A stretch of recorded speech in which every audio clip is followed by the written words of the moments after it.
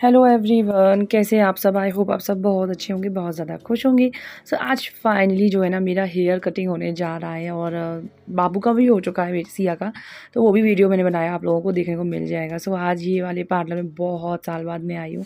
तो ये भाभी मुझे बहुत टाइम से जानती हैं बहुत अच्छे से।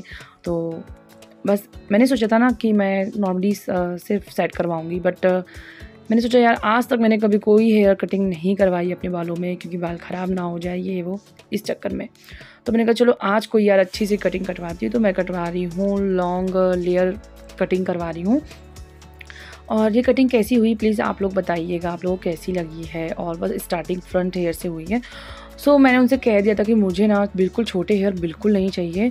तो मेरे पीछे के जो हेयर है बैक साइड के एकदम जो लेंथ है ना, सबसे लास्ट की तो उसमें ना काफ़ी हेयर मेरे डैमेज हो चुके थे, बहुत ज़्यादा बेकार। बिकॉज़ ना उन्होंने बताया था कि मैंने कभी, मैंने उनसे कहा कि कभी कोई कलर नहीं किया, मेहंदी नहीं लगाया, कभी कोई भी ऐसे केमिकल प्रोडक्ट नहीं लगाया। तो उन्होंने बताया कि जब आप मेडिसिन खाते हो, क्योंकि उनको पता है मेरा ऑपरेशन और सारी प्रॉब्लम्स मेरी पता है उनको तो उससे जो है ना काफ़ी ज़्यादा फ़र्क पड़ जाता है आपके हेयर में।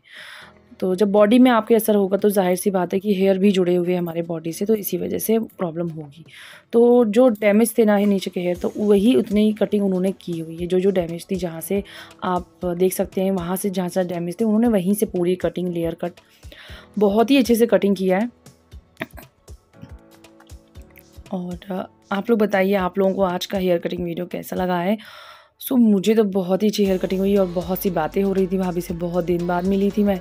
तो काफ़ी बातें शातें हुई थी और वीडियो शूट शूट हुआ था तो वो पूछ रही थी कि, यार वीडियो शूट हो रहा मैंने कहा, जी तो उनको पता चला यूट्यूब चैनल है। मैंने कहा हाँ। तो उन्होंने कहा कि, हमारा भी भाई ऐड कर दीजिए। पार्लर का तो मैंने कहा, बिल्कुल।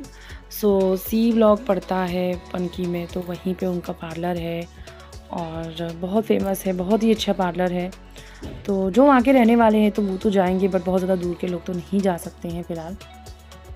और ये हेयर कटिंग इस तरह से जो है ना उन्होंने सारी लेयर बाई लेयर उन्होंने कटिंग की है एंड बहुत ज़्यादा अच्छी है और वीडियो को लाइक करना मत भूलिएगा, बहुत सी बातें शाता शादी हुई हैं, उन्होंने चैनल के बारे में बहुत कुछ पूछा है और मतलब कहा है कि मेरा नाम वो लास्ट में जो है ना उन्होंने मुझे मेरे चैनल का नाम भी उन्होंने डायरी में लिखवा दिया कि क्या नाम है। तो लिख दो तो हम भी आपको फॉलो करेंगे और सब्सक्राइब करेंगे शेयर करेंगे। सो so, होता है कुछ लोग बहुत अच्छे मिल जाते हैं और उनका नेचर भाभी का बहुत अच्छा है और काफ़ी साल बाद गई हूँ पार्लर प्रॉब्लम इतनी थी ऑपरेशन के बाद से कि मेरा जाना बंद हो गया था। नॉर्मली सिर्फ़ मैं एब्रो बनवाने के लिए जाया करती थी मैं और सिस्टर अब मैं एब्रो खुद बना लेती हूँ अपनी और सिस्टर की तो मुझे अब जाने की ज़रूरत नहीं। सो so, आप देख सकते हैं यहाँ नीचे ले तो मेरे हेयर कितने ज़्यादा डैमेज हो चुके हैं। तो मैंने कहा, ये हेयर कटिंग भी ज़रूरी होती है। अगर आपके ऐसे हेयर डैमेज है तो आप ज़रूर कटिंग करवा लें। बिकॉज़ वहाँ से ना आपके हेयर और भी ज़्यादा हेयर फॉल भी होने लगते हैं। तो मेरी सिर्फ़ मेडिसिन की वजह से प्रॉब्लम बहुत ज़्यादा होने लगती है और बाकी मेरे हेयर उन्होंने बताया आपके हेयर बहुत अभी अच्छे हैं। कोई अभी ऊपर से कोई भी मतलब जो मेन ग्रोथ होता है स्कैप से भी कोई ख़राब नहीं हुए हैं, काफ़ी घने पर जो नीचे की है ना, वो नॉर्मली हो ही जाता है, हर किसी के नीचे के लेंथ तो अब वो कटिंग करवा लो। मैं वैसे भी सेट करवाने का सोचा, मैंने कहा, चलो यार, कोई हेयर अच्छी हेयर स्टाइल ही करवा लेती हूँ। इतने साल मैंने आज तक कभी नहीं किया और सिया कि आप हेयर कटिंग देख सकते हो चुकी है। तो उसका भी फाइनल वीडियो आप लोगों को मिल जाएगा।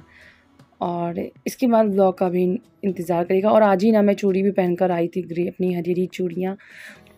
और हाँ, बहुत ही मतलब ना मज़ा आ रहा था मुझे हेयर कटिंग में। तो और पता है थोड़ा सा बुरा लग रहा था यार बहुत ज़्यादा छोटे ना हो जाए।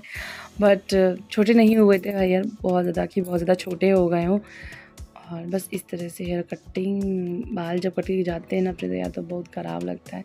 पर जब उन्होंने बाद में हेयर दिखाया ना तो मुझे तसल्ली हुई कि हाँ यार, चलो हेयर मैंने मतलब बहुत ज़्यादा कटे नहीं, क्योंकि मैंने उनसे एक बात पहले बोल दिया था, जैसे आप भी कटवाने जाएँ, जैसे कहीं कहीं बहुत ज़्यादा पार्लर होता है ना कि आपके हेयर बहुत ज़्यादा काट देते हैं मतलब जितना आपने बताया उससे भी ज़्यादा। तो ये चीज़ आप उनसे पहले बात कर लें कि मुझे बहुत छोटे नहीं करने नॉर्मल साइज़ रखना है। तो बस आपके उसी हिसाब से आपकी हेयर कटिंग होगी। वैसे तो बहुत सी हेयर कटिंग्स हैं। Two step three step but उसमें तो हेयर बिल्कुल छोटे हो जाते हैं जो कि मुझे नहीं कटवाना। फिर उसमें क्या है ना कि वो मज़ा नहीं हो जाता इतने उस, और वो हेयर कटिंग क्या है ना, जब आप हेयर ओपन रखते हो ना तो ही अच्छे लगते हैं, जो कि मुझे ओपन नहीं रखना तो इसमें पॉनीटेल वगैरह मैंने किया था ना, बहुत अच्छा लग रहा था। और आके जो है मैंने हेयर वॉश किया। आपको ब्लॉग बहुत अच्छा मिलने वाली है इसके बाद तो आप लोग इंतज़ार करिएगा। तो चलिए मैं यहाँ से म्यूज़िक ही लगा जो है, स्टार्ट रहेगी तो आप लोग देखते रहिए, हेयर कटिंग कैसी हुई है। और कुछ भी पूछना है, आप तो कमेंट करके आप पूछ सकते हैं। और बस यहाँ पे बहुत सी बातें हुई है सब कुछ है। और धीरे धीरे मैंने सारी कटिंग आपको दिखाई है, किस तरह से लेयर कट हुए हैं। बहुत ज़्यादा फास्ट फॉरवर्डिंग में नहीं दिखाया आप लोग को, ये बिल्कुल नॉर्मल है।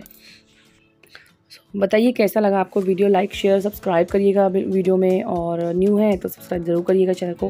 पहले से देख रहे हैं तो thank you so much for watching my videos and आगे बने रहिए और फुल वीडियो को इन्जॉय करिए।